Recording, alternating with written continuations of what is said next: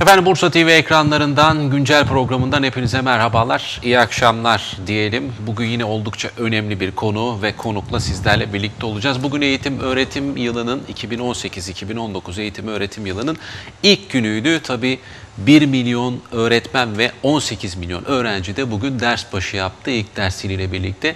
Yeni yılda neler göreceğiz, neler getirecek yeni yıl öğrencilere ve öğretmenlere bunların detaylı değerlendirmesini yapacağız. Şu anki eğitim durumunu konuşacağız.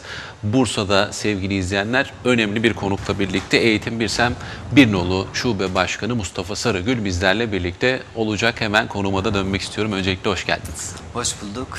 İyi akşamlar. Yoğun bir dönem sizi bekliyor. Tabii bu dönemin öncesinde yaklaşık iki haftalık bir seminer süreci geçti öğretmenlerin. Yeni dönemde beklentilerle ve yeni dönemin açılışıyla başlayalım. Neler söylersiniz? Ee, öncelikle bize bu fırsatı verdiğiniz için Bursa TV ailesine şahsınızda teşekkür ediyorum. Ve e, öğrencilerimizin, öğretmenlerimizin ve eğitimin tüm paydaşlarının yeni eğitim öğretim yılının hayırlı olmasını Rabbimden temenni ediyorum. Evet, eğitim öğretim heyecanlı bir iş. E, sevilerek, zevkle yapılacak bir iş. Çok önemli bir iş ve aynı zamanda ülkenin geleceğini, milletlerin kaderini tayin edecek kadar ehemmiyetli bir iş.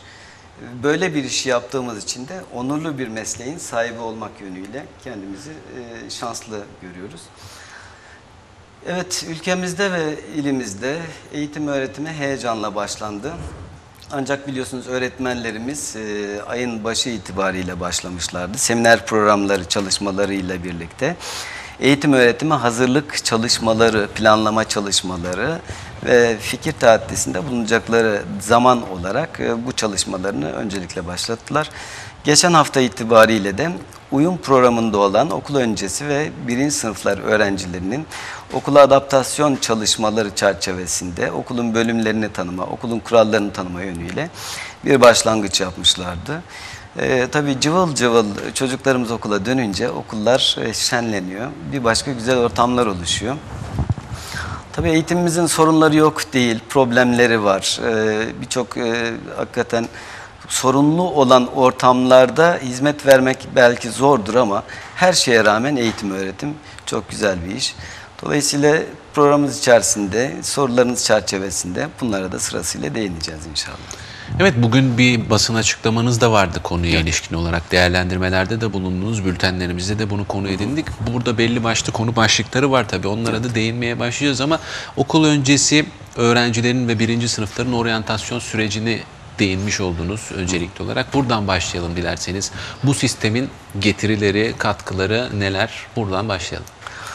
Okul öncesi oryantasyonu biz çok önemsiyoruz ee, ve hakikaten e, bu kararın alındığı günden bugüne değin e, çocuklarımız okula alışmaya, anne ve babalarından ayrılıp okulu bir aile yuvası gibi görmeye başlıyorlar. E, eğer böyle olmazsa diğer çocuklar okula alışmış olan çocuklarımızla birlikte başladıkları evrelerde velileriyle birlikte, sınıf içerisinde okulda anneleri veya velileri yakınlarıyla birlikte bir uyumsuzluk, bir e, karmaşa, bir e, tabloda böyle hoş olmayan bir manzara gibi görülüyordu. E, dolayısıyla çocuklarımızı velilerimiz bu dönemde yavaş yavaş alıştırıyorlar. İlk e, okula gelmeleri ve okulu tanımaları yönüyle e, bu çok önemli, ehemmiyetli ve e, bu evreyi şu anda e, yıllardır, birkaç yıldır Türkiye uyguluyor e, ve çok başarılı da oldu. İnşallah bundan sonra da böylece devam ede gider.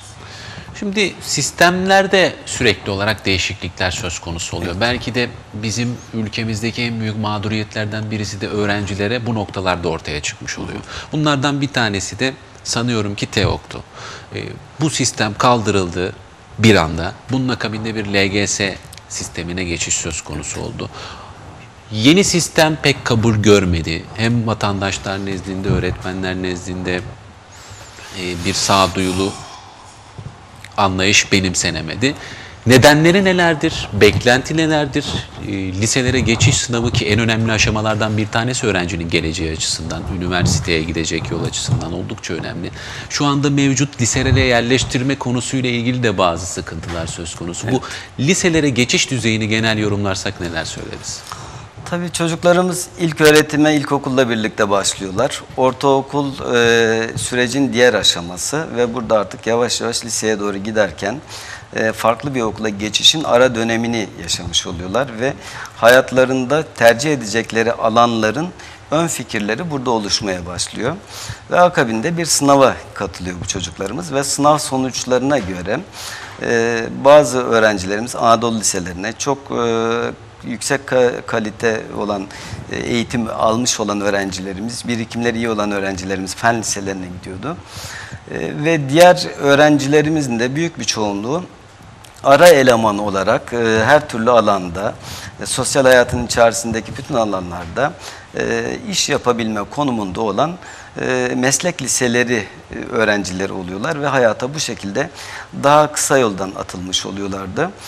E, bu sistemi e, daha önce TEOK ile e, belli bir aşamaya getirilmiş e, ve yapılan eğitim ve eğitim sonundaki sınavlar çerçevesinde dağılımlar da e, öğrencilerin e, akademik liselere veya meslek liselerine gidişi yönüyle belli bir e, düzeye gelmişti ama orada bir sıkıntı vardı. İşte şehrin en doğusundan en batısındaki okula gitmek.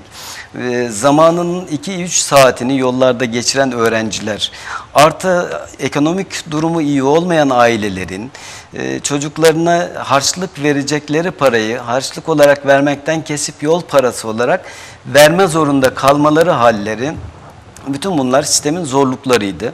Ha bu e, TEOK'ta bir rehabilitasyona gidilip de e, belki çocuklarımız kendi mahallelerinde bulunan meslek liselerine yönlendirildiği takdirde daha yüksek puan alınması ile birlikte daha Bir güzel ek puan gibi mi düşünüyoruz bunu? Ek puan gibi bir şey olabilir de oralara gider ve bu şekilde savrulmalar engellenmiş olabilirdi ama böyle olmadı. Hakikaten eğitim sistemi bir yazboz tahtası olmaktan çıkartılmalı.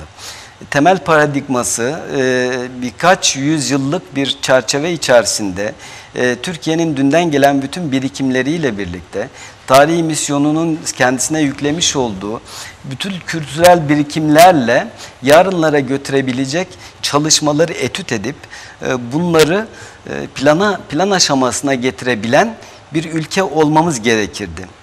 Ama ne yazık ki bugüne kadar Türkiye hep e, projeler çöplüğü konumuna geldi.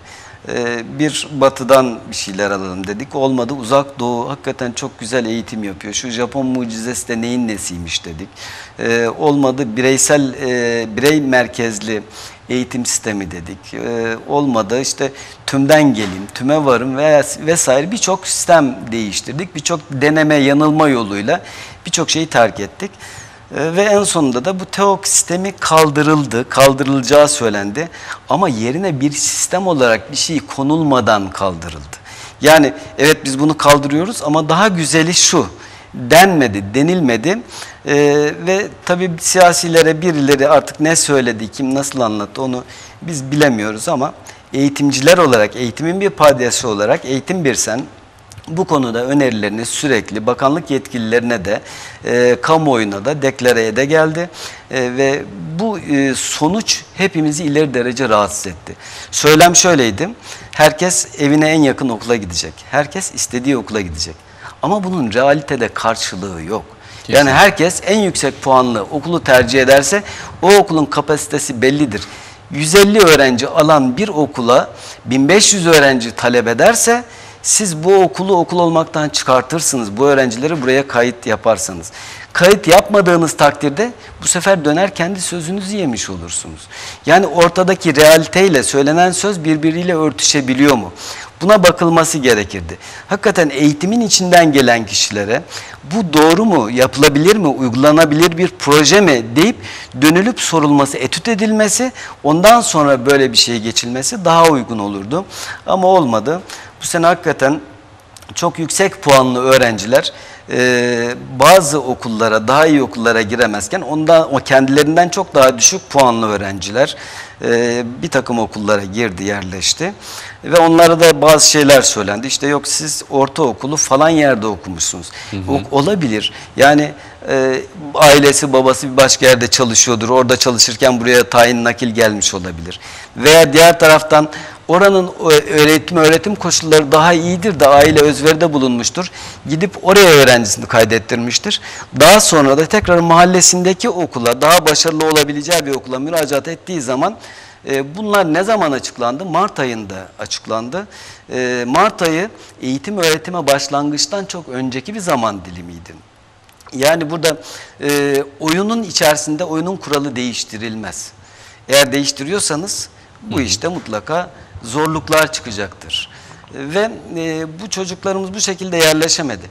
Ama birçok okulumuz da boş kaldı. Yani yaklaşık şu anda e, 300 bin öğrenci meslek liselerinden e, kontenjan açığı olarak e, başka bir okula doğru kayma trendi gösterdi. Bu ne demektir? 300 bin öğrencinin öğretmeni norm fazlası kalacak demektir. Evet. Mesela Bursa'da Atatürk Endüstri Meslek Lisemiz sanayinin içerisinde göbeğinde bir okulumuz. Ve bu okulumuz her yıl 10 tane şube açıyor e, ve 10 sınıflık öğrenci alabiliyordu. Bu sene müracaat eden ne kadar biliyor musunuz? Bunun üçte birinden daha az. Üç şube anca oluşturabiliyorlar. Bazı okullarımız mesela Yıldırım'da e, Kubilay Mesleki ve Teknik Anadolu e, Lisemiz e, müracaat eden öğrenci olmadığı için diğer taraftan Anadolu liselerine de müracaat fazlalığı olduğu için e, bundan dolayı bu okulumuzun ismi dönüştürülerek böyle bir hal alındı. E peki biz bu kadar öğrenciyi yarın hepsini akademisyen yapamayacağız. Öbür taraftan sanayicimiz ısrarla bas bas bağırıyor bana kaliteli ara eleman lazım Evet. diyor. E siz şimdi kaliteli çocukların en kalitelilerini fen liselerine, biraz altını e, bu işte e, seçkin bazı okullara, onun altını normal lise konumuna dö- dönüşen bugün artık Anadolu liselerine e, ve oraya da bir yığınak yapacaksınız.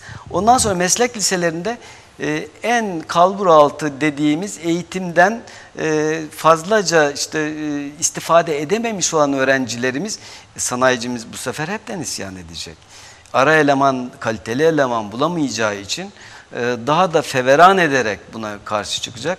Dolayısıyla bu çerçevede yapılması gereken şey e, hakikaten bu sistemsizlikten önce, önce bu sistemsizlikten vazgeçilmesi ve bir sistemin oturtulması ve e, sistem oturtulduktan sonra da istikrarla bunun takibi ve yapılacaksa bu sistem içerisinde değişikliklerin yapıcı onarıcı olması yönüyle de eğitimin bütün paydaşlarının görüşü alınarak bir imar yoluna gidilmesi gerekiyor.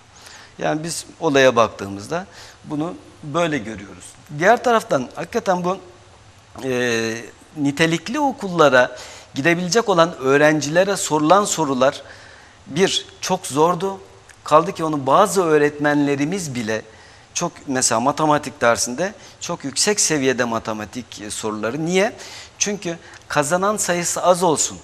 Yani yüzde üçlük dilime girebilecek bir öğrenciyi eleyebilmek için e, başaramayacakları soruları ancak kendilerinin özel gayretlerle eğitim öğretim müfredatı dışından gelen çabalarla öğrenebilecekleri veya yakalayabilecekleri bazı eğitim sonucu e, bazı öğrenciler belki yakalayabildi. E, Şimdi bu böyle bir soru, e, böyle bir soru mantalitesi olmaz. Bir de soruların e, içeriği yönüyle de eğitim sistemi e, çoktan seçmeli ve bilgi geri çevirici sorular tarzında yapılana gelmişti. Ama son sınavda çocukları, öğrencilerimizi yorumlara yöneltecek ve yorumlardan cevap çekip alabilecek tarzda bir soru hazırlanınca e, çocuklarımız hepten bocaladılar ve başarı oranı öylesine e, kötü bir şekilde düşüş yaptı. Halbuki çocuk aynı çocuk. E, Eğitim ortamlarında emsal arkadaşlarıyla aynı ortamlardan geldi geçti. Yani bütün bunları artık e, çocuklarımızın beyinlerine bilgi çöplüğü yapmayalım. Güzel. E, onları e, gerçeği, hakikati arayabilen, sorgulayabilen, araştırıcı kimliğini ön plana çıkartalım. Bu da çok güzel. E, ama bunun adını koyarken bunu eğitim sisteminin içerisine de koyalım. Eğitim sisteminin içerisinde koymuş olduğumuz bu şeylerin egzersizini çocuk okulda yapa gelsin ki sonradan onun kaderini tayin edecek olan sınavlarda da buna göre bir e, çıkış yolu bulabilsin kendisine. Aksi takdirde şu anda feveran eden o kadar çok veli var ki. benim çocuğumdan daha düşük puanlı bir çocuk mahallemdeki okula giderken benim çocuğum neden bir yere yerleşemedi diyor. Yani bunun hesabını kim verecek? Ve haklılar da. Çünkü onlar çocuklarının geleceğini çok çok yakından düşündükleri, belki uykularını kaçırdıkları, belki e, kendi evlerine yapacakları her türlü harcamadan kıstıkları, kısarak onun eğitimine katkıda bulunmaya çalıştıkları bir sonucu göremiyorlar. Onun kadar emek vermeyen birileri de onun çocuğunun gideceği yere gitmiş oluyor. Ve böylece adalet duygusu da zedelenmiş oluyor. Haliyle e, bütün bunların tedbirlerini alacak olan e, bürokrasidir. Bu tedbirlerin alınması doğrultusunda son kararı veren siyasilerde e, bürokratların içerisinde sadece bürokratlarla kalmayıp e, eğitim paydaşları, sendikalarımızdan da görüşler alması gerekir. Eğitim çalışanlarından da görüşler alması gerekir. E, ve uygulanabilir bir proje ortaya çıkması gerekir diye düşünüyorum. Peki şu anda görüş alışverişine başlanıldı mı bu sürecin ardından? Yani e, bakanlığımız güzel çalışmalar yapmaya başladı aslında. E, ve güzel çalışmalar yapmaya başladı ama e, tabii bu görüş alışverişine e, ona da bir kapı aralanacaktır. E, çünkü bu sıkıntı herkesi hep birlikte rahatsız ettiği andan itibaren zaten bu zorunlu olacaktır. Kaçınılmaz olacaktır. Sanıyorum ki şöyle bir durum da var. Hemen yerine birini koymak başka zaruriyetler de mağduriyetler de ortaya koyabilir. O Bir altyapısının hazırlanıp bel, belli bir süre geçtikten sonra belki de yürürlüğe konacak yeni altyapısı hazır bir proje daha sağlıklı olacaktır. İnşallah temenni ediyoruz. Ee, Böyle olsun, böyle de olmalıdır. Ee, Çünkü e, hakikaten yükselen bir Türkiye, yarını yakalayan bir Türkiye, çağdaş e, dünyada yerini alan bir Türkiye Ee, ve aynı zamanda eğitimli e, ve kaliteli insanların olduğu bir Türkiye. Ee, Medeniyeti dünyamızın dünden gelen birikimiyle birlikte yarınlara doğru giderken bunu gerçekleştirme azmin ve kararlılığı içerisindeyse bu doğrultuda e, hep birlikte düşünce ortaya koymamız gerekiyor. Birbirimizle çok uzun müzakereler yapmamız gerekiyor. Bu yapılan müzakereler çerçevesinde de en sağlıklı ve en doğru çıkış yolunu bulmamız gerekiyor. Evet, e, TEOG ve yeni geçiş süreci liselere giriş sınavı, liseye yerleşecek öğrencileri mağduriyetleriyle ilgili konuları paylaşmaya çalıştık. Bunlardan başka tabii eğitimin, eğitim çalışanlarının da birçok sorunları var. Az önce bahsettim, bugün basın açıklamanız vardı. Evet. Orada da bunlarla ilgili önemli ifadeler kullandınız. Birçok sorundan bahsettiniz. Okullaşma oranlarının artmasına rağmen, teknolojinin ilerlemesine rağmen, okulların fiziki, teknolojik kapasitesinin gelişmesine rağmen hala bunların yeterli seviyede olmadığını söylediniz. Bu önemli ifadelerden bir tanesi. Ne gibi eksikliklerin ivedilikle giderilmesi gerekiyor? Dilerseniz burayı konuşalım. Evet, öncelikle e, biz öğretmenler e, motivasyonumuzun yüksek tutulmasını istiyoruz.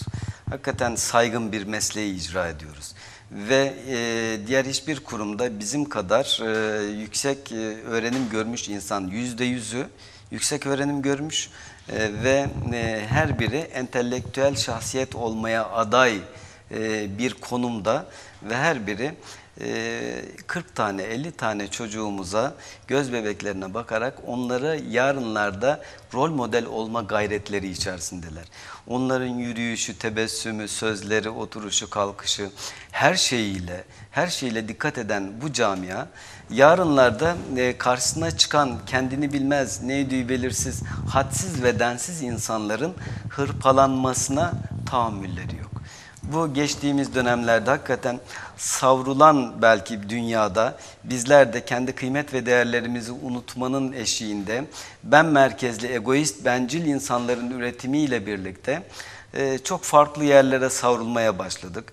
E, ve çocuklarımız bizden koptu. Farklı yerlerde olabiliyorlar. Değişik dünyalara gidebiliyorlar. Sosyal medya ile birlikte onların nerelere kadar gittiğini biz bilmiyoruz ama şu kadarını biliyoruz. E, Hakikaten bir yozlaşma var. Ve bu yozlaşma dünün İstanbul Beyefendisi dediğimiz Bursa'nın o nezaketli kültürü veya diğer bütün şehirlerimizin veya hatta köylerimize varıncaya kadar Ali dayımızın, Ayşe teyzemizin bize yaklaşımları ve himaye etmeye gayretleri, bizim yarınlarımızı hep birlikte kader birliği yapmış bir toplum olarak görmeleri bu bugünün dünyasında yok. Yani herkes birey olarak e, kopmuş ve herkesin egosu fazla şişmiş ve herkes ben merkezli olaylara bakıyor ve bu ben merkezli bakış açıları da kendi hesabına gelmeyenin hesabını kendisi görmeye çalışıyor. Böyle olunca da hukuk, adalet, efendim e, erdemli insan davranışı bunların her biri bir bir çiğnenmeye başlıyor. Ve dolayısıyla en büyük sıkıntımız bizim bu. Bu saygın mesleğin bütün e, katılımcıları, bütün mensupları aynı saygınlığı e, toplumdan görmek istiyor. Yani öğretmen denilince dün e, toplumda çok e, itibar edilen bir şahsiyetin bugün de aynı şekilde e, olmasını temenni ediyor. E, arkadaşlarımız kendilerine düşeni ziyadesiyle yapma gayretleri içerisinde olmalarına rağmen e, birçok meseleyi yanlış anlayan bazen veliler, bazen öğrencilerimizden şiddet görmeye devam ede gidiyoruz. Yani öfkeli bir toplum olmaya başladık.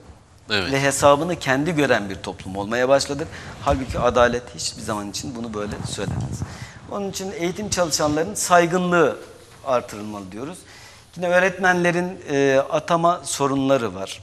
E, atama sorunları e, işte doğuda, güneydoğuda zorunlu bölgelerde çalışan öğretmenlerimiz, 3 yıl kadrolu olanlar, 6 yılda sözleşmeli olanlar çakılı bir şekilde e, insan temel hak ve hürriyetlerine diğer taraftan da e, işte anayasal bir takım kazanımlara çok uymayan, aile bütünlüğünü parçalayan e, böyle şeyler var ve e, pek çoğu da eş durumdan yaklaşık e, bir buçuk yıl ortalama e, bu bölgelerde kalış süresi fırsatını bulan herkes bir şekilde ayrılmaya gayret ediyor.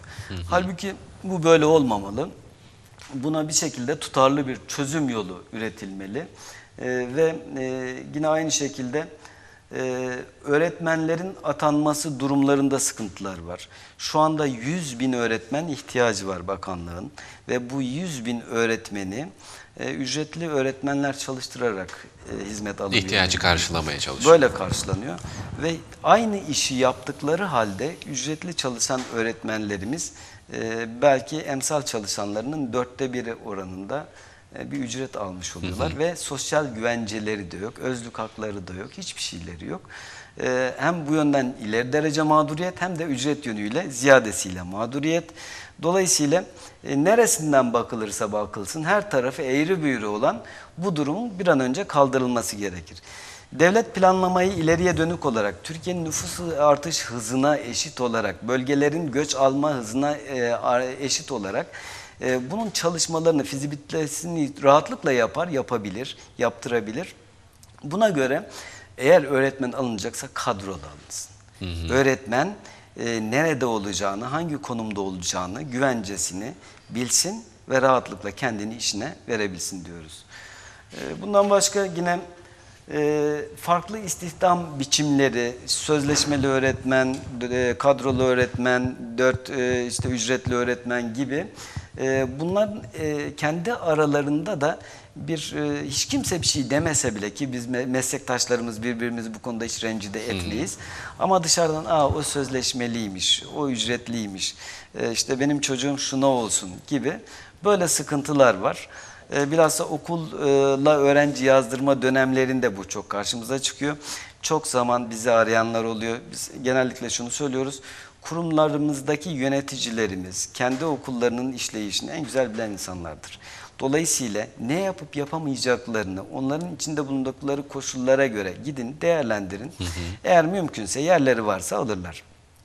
Ha bunu bir de zorunluluktan dolayı okulun bir takım ihtiyaçlarının karşılanmasının e, aracı vesilesi kılıp da öğrenci velilerinin kayıt esnasında hele hele alan dışı kayıtlarda e, işte şimdi sırası geldi benim başka da imkanım yok deyip e, yüksek kayıt ücretleri alma durumları da söz konusu olabiliyor.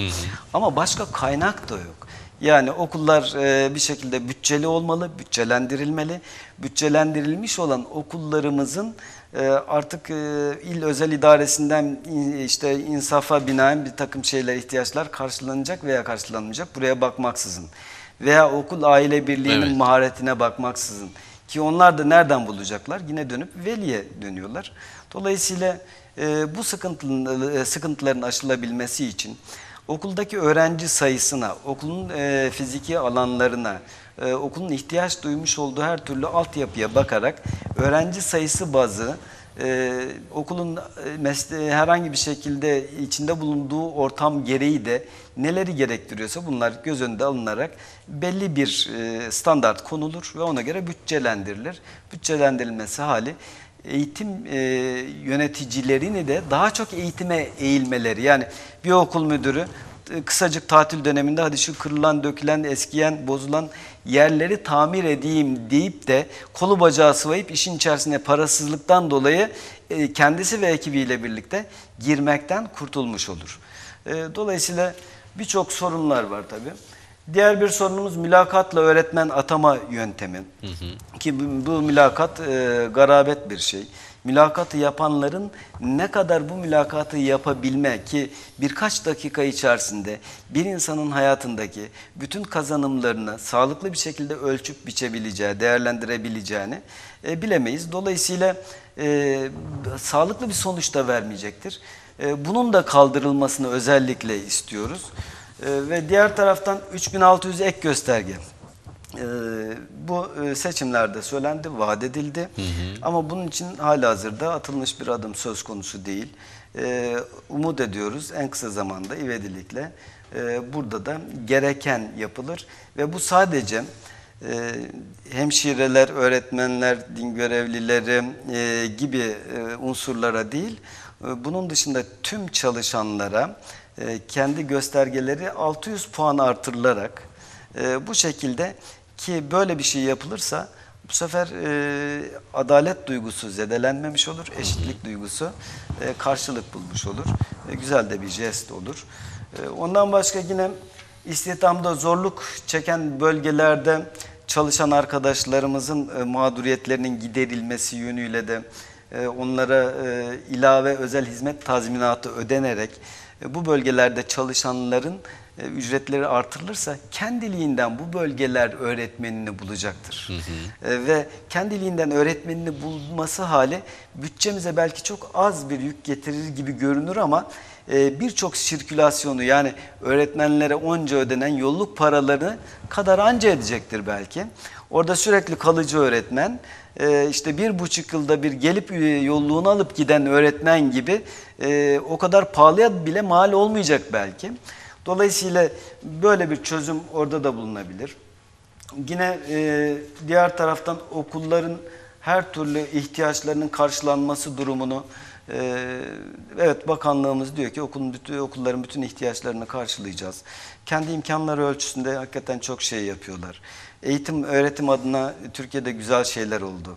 Eğitim yaşının liselerin son sınıfına kadar uzatılması hali, her ile birden fazla üniversite olma durumları, e, ve artık e, eğitim, yüksek öğretim gören insanlarımızın sayısının oldukça artmış olması, e, eğitimin içeriği yönüyle işte akıllı tahtaların getirilmesi, eğitim gören öğrencilerimizin kitap vesaire gibi ihtiyaçlarının tamamının devlet tarafından karşılanıyor olması, bütün bunlar her biri eğitim açısından bakıldığında hakikaten güzel gelişmeler ama bu gelişmeler işte bir de yarınlara eğitim e, gören çocuklarımızı hazırlamak yönüyle iş dünyası, STK'lar, bürokrasi, siyaset e, ve akademisyenler bir araya gelip e, istihdam oranına göre iş adamları nereye ne kadar yatırım yapacak? Hükümet hangi politikaları öngörüyor? İş adamlarının hangi yönde gelişimi söz konusu? Bir 5 yıllık, 10 yıllık planlar çerçevesinde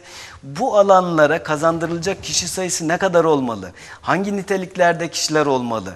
Yeni yeni çağdaş bilişim teknolojileri gereği veya işte yeni dünyanın yeni istihdam alanlarına uygun yeni hangi bölümler açılmalı? Bu bölümlerin içeriği neler olmalı? Bunların her birini en güzel şekilde etüt etmeli ve bu yapılan etütler sonrası ortaya çıkan karar devletin, devletimizin, toplumun, hepimizin hep birlikte kararı olmalı. Yani hiçbir şekilde biz bu ülkemizde birilerini ötekileştirme lüksüne sahip değiliz. Çünkü hepimiz hep birlikte olursak bize karşı acımasız olan dünyaya bu emperyal rüzgarlara karşı belki daha sağlıklı, daha güçlü bir şekilde karşı koyabiliriz ve durabiliriz diye düşünüyoruz. Diğer taraftan eğitim e, yöneticiliği e, profesyonel olmalı. Yani kurum yöneticilerimiz e, öğretmenlikten gelen insanlar. Öğretmenlikten gelir gelmez bizde kocaman bir hazret var ortada. E, 657. Muazzam bir mevzuat. Ve bir tebliğler dergisi yığıntılarımız var. Ee, öğretmenlik yıllarına başladığımızda imza sirküsü yönüyle zorunluydu. Ve gelen müfettişler de işte oraya kadar bakarlar işte sen bu sirküye imza atmış mısın, bu gelen tebliğler dergisini okumuş musun? Ee, yani e, okul kütüphanelerinde böyle yığınla çünkü çok mevzuat değişiyor. Ee, ve o kadar değişen mevzuatın seni bağlayan yönü nerede kaldı, neresi oluyor, ne kadar olacak? İster istemez Ve kaçırılıyor. Mutlaka kaçırılıyor. Ee, ve böylece yarın bir de bir yerden bir açık bulunca işte senin kabahatini yakaladım deyip cezayı verme yoluna gidilmesi durumu e, bazen böyle teftişi yapanlar yönüyle bir kolaycılık yönüyle olabiliyor. Veya işte birbirine karşı husumeti olan insanlar. Bunun bu halden çıkartılabilmesi için, eğitim yöneticiliğinin profesyonelleşebilmesi için eğitim yöneticisi olacak olan arkadaşlarımıza seminerler verilmesi lazım. Biz mesela sendikamızda bunu yapıyoruz. Her sınav öncesi eğer sınavlardan sonra bir başarı varsa arkadaşlarımızı eğitim sürecine alıyoruz. Alanında uzman olan kişilere bu eğitimlerin her birini bazen bir ay bazen e, birden fazla aylarca devam eden bir eğitim periyodundan geçirip akabinde birkaç deneme sınavı yapıp ondan sonra işte başarı e, eğer üyelerimiz için %70-80'ler gibi görülüyorsa bunun altında yatan gerçek bu. Yani böyle olmasını istiyoruz. Bir esasa bağlanmasını istiyoruz ve orada eğitim yöneticilerinin de mülakat sisteminden kaldırılmasını talep ediyoruz.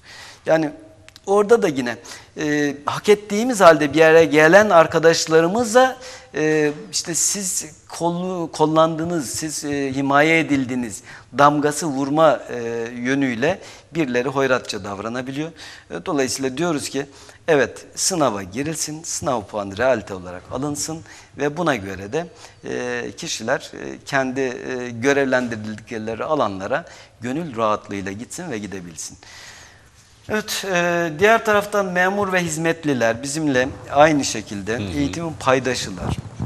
Onlar e, perde arkasında, mutfak bölümünde e, görülmeyen, e, arı gibi çalışan insanlar. E, o kadar çok hani mevzuatın farklı bölümlerinin işlerini yine bizim de bilmediğimiz yönleriyle harıl harıl yapa geliyorlar.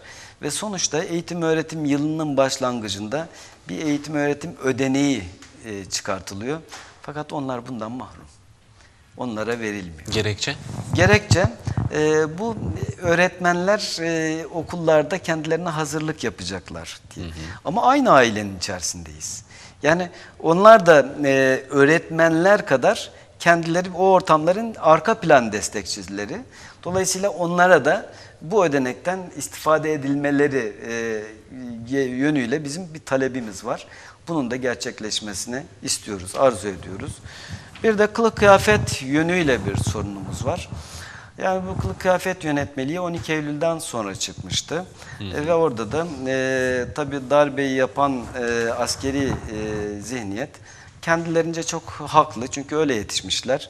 E, orada öyle görüyorlar. Bir şablon resim fotoğraf üzerinden işte fauller şurada kalacak, saç e, işte ceketin e, şeyine değmeyecek erkekler için, bıyıklar yanlardan uzamayacak, sakal tıraşı her gün yapılacak, efendim e, pantolon e, kumaş olacak, e, içinde keten oranı vesaire biraz fazla olursa ki ben bunu acı bir şekilde yaşadım. Bir gün okul müdürüme bir öğretmen arkadaş demiş ki falanca keten pantolon giyiyor. Hı hı. Okul müdür beni odasına kadar çağırdı ve öğrencilerin eğitim öğretim hakkını alarak beni evime gönderdi. Mevzuata uymuyorsun git bunu değiştir gel. Halbuki e, aradaki tek kabahat e, naylon oranının az olması, keten oranının fazla olması. Belki o keten daha sağlıklı. Ama meseleye öyle bakılmıyor. Niye? Çünkü bir şablon çizilmiş oraya. Yani bu şablondan rahatsız olan insanlar eğitim ortamları işin bu tarafına bakılmıyor. Çünkü diğeri bunu göremeyebilir. Tek tipliliğin ön planda olduğu askeri mantalite içerisinde bunun bir karşılığı olabilir ama sivil hayatta böyle değil. değil. Yani biz çeşitliliği, çeşniliği genel çerçevedeki ahlaki e, bir takım e, işte kazanımları gölgelemeyecek şekilde ki toplumumuz zaten bunu dengeler, o kültürü üretir. Orada hiçbir şekilde çarşıda, pazarda, umumi olan her türlü ortamda hiç kimse ötekinin kıyafetine karışmıyor. Ama devlet dairesinin içerisine girince e, işte pantolonun boyu şuraya kadar olacak. Efendim şeklin şemalin şu olacak şekliyle. Çok e, dayatmacı bir mevzuatımız var. Hali hazırda yürürlükte ama e, evrensel hoşgörünün uzantısı şekliyle Türkiye'mizde de bu iyi niyetli yaklaşımlar ve yöneticilerimizin iyi niyetli bakış açıları bazen bir iki üst e, kademe amirlerinin zaman zaman tacizi şekliyle işte ne bu kıyafet deyip huzurundan gönderdiği birkaç arkadaşımız dışında e, genel kabul gördü. Bu genel kabul görmüş olan durumun tescillenmesini, Resmileşmesini resmileşmesini istiyoruz. Taleplerimiz tabii ki bunlar. Tabii eğitim ortamını konuşacaksak konuşulacak çok şey var. Ee, hep böyle ben tek düzeye gitmeyeyim de sizin de soracaklarınız varsa. Eğitim ortamını konuşmaktan kastım aslında şu. Sürekli tartışılır. Öğretmenlerin performansı, öğretmenlerin öğrenciyle olan ilişkileri en çok bu noktalarla ilgili veliler ve öğrenciler özellikle bu durumdan mağduriyet duyduklarını, şikayetçi olduklarını dile getirirler. Bu konuyla ilgili olarak öğretmenlerin çağı yakalaması anlamında bazı eğitimleri alması gibi konulardan da bahsediliyor. Siz bu konuyla ilgili ne düşünüyorsunuz? Tabii ki e, öğretmenlerimiz bugüne kadar elde etmiş oldukları bir birikimle geliyorlar ve arkadaşlarımız bu birikimlerin üzerlerine nicelerini koyma gayretleri içerisinde olma durumları söz konusu ama şunu bilelim ki e, bir elin parmakları bile birbirinin eşdeğeri değil. E, ve burada e, işini çok süper en güzel şekilde yapanlar da olabildiği gibi e, işi noktasında e, gerekeni yapıp da bunun çok fevkine taşıma durumunda diğeri kadar mahir olamayan arkadaşlarımız da var.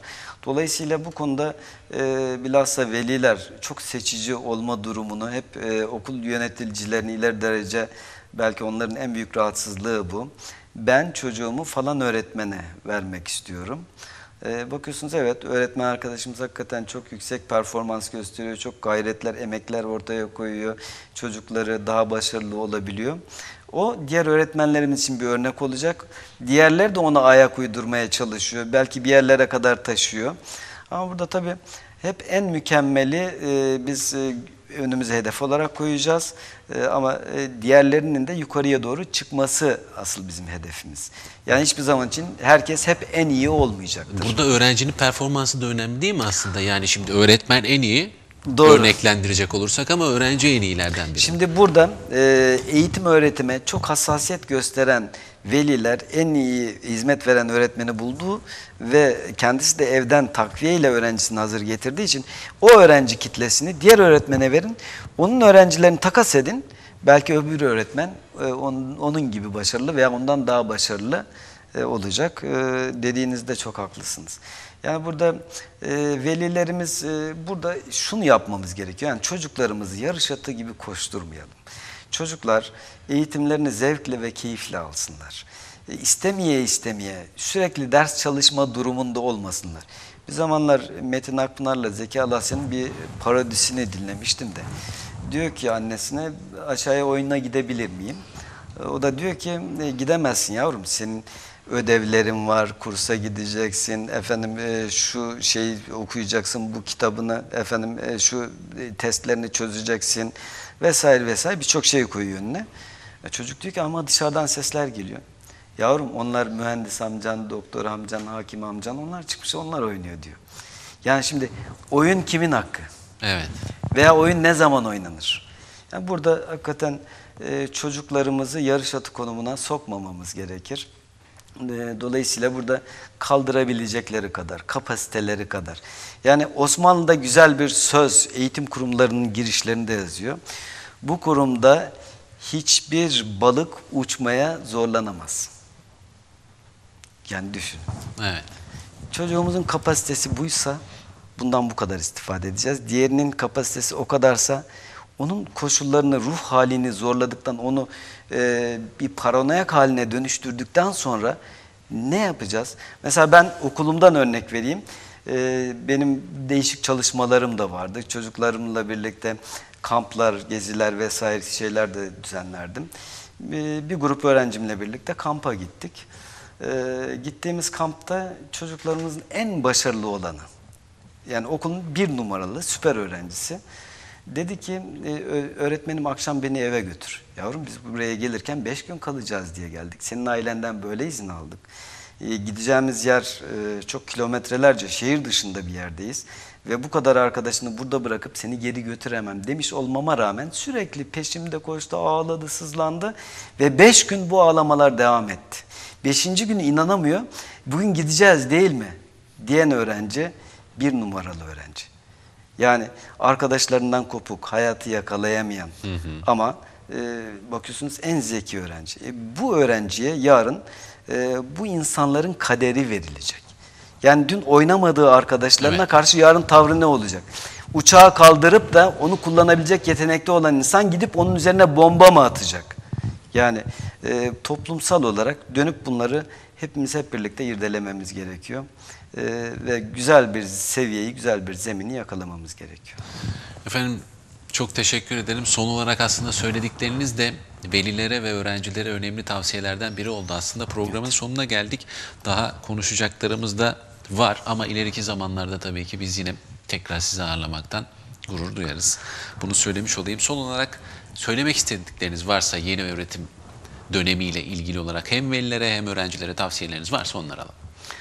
Sayın e, velilerimize öncelikle tavsiyem, çocuklarınız sizin ciğerpareleriniz ve aynı zamanda Allah'ın birer emaneti. Bu emanete e, en güzel şekilde hizmet ortamları hazırlayın ve onları iyi koruyun, kollayın. Onların kapasitesi üzerinde bir şey talep etmeyin ama onları başıboş da bırakmayın. Yani önce evinizde siz rehberliğinizi yapın. Eğitim, öğretim arkasından kolaylıkla kendiliğinden gelecektir. Sayın öğrencilerimize de tavsiyem, büyüklerine karşı sevgi, şefkat, merhamet gibi güzel duygularla birlikte örüntülendirilmiş bir hayatı kendi aralarında da barış ortamı içerisinde e, ve mutlulukla birlikte e, başarıyı eşit oranda beraber yürütecekleri sağlıklı bir eğitim öğretim e, yılı temenni ediyorum. Tekrar çok sağ olun, çok teşekkür ederiz. Ben teşekkür ederim Z- fırsat verdiğiniz zaman ayırdığınız için. Sağ olun ne demek. Evet sevgili izleyenler güncel programıyla Bursa TV ekranlarında sizlerin karşısındaydık. Bugün önemli bir konuyu konuştuk. 2018-2019 eğitim öğretim yılı bugün itibarıyla başladı. 18 milyon öğrenci 1 milyonun üzerinde öğretmenle birlikte ilk ders yılından itibaren ve biz de konuya ilişkin yeni yıla ilişkin değerlendirmeleri e, aldık, bunu aktardık, sizlerle paylaştık. Eğitim Birsen Bursa Birnoğlu Şube Başkanı Mustafa Sarıgül bizimle birlikteydi. Bizden bugünlük bu kadar. Tekrar görüşmek dileğiyle diyelim. Mutlu akşamlar, hoşçakalın.